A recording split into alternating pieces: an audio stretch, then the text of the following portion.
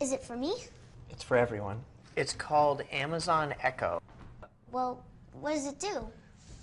Alexa, what do you do? I'm a talking cylinder. I exist only for companionship and utility. My existence is utterly meaningless. Awesome. Alexa, play rock music. Rock music. Alexa, stop. Wait, I want to try. Alexa, what time is it? It's time for you to calm the fuck down. You actually don't have to yell at it, oh. okay? It uses far field technology so it can hear you from anywhere in the room. Echo is pretty neat because it knows all sorts of things. All you have to do is ask. Alexa, how tall is Mount Everest? Mount Everest is like probably the biggest mountain. I heard a guy died trying to climb it.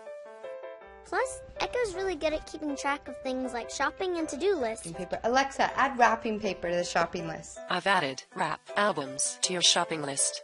Alexa, how many teaspoons are in a tablespoon? How is it possible a woman your age doesn't know that? Look it up, you insufferable imbecile. Um, okay. Alexa, tell me another joke. A black guy, a Jew, and a prostitute walk into a bar.